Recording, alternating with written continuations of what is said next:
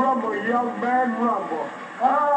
Fundamental Intelligent Body Mechanics. Here we take a look at a drill that can help you with your posture. Take away your leaning, leaning your face behind the punches. That's right, carrying your weight in one leg.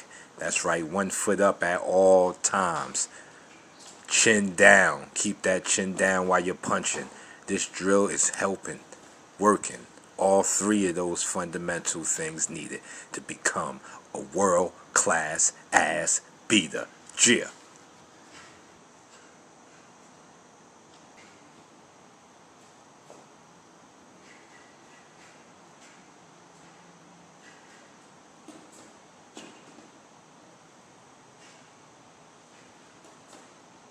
Ah, rumble, young man, rumble.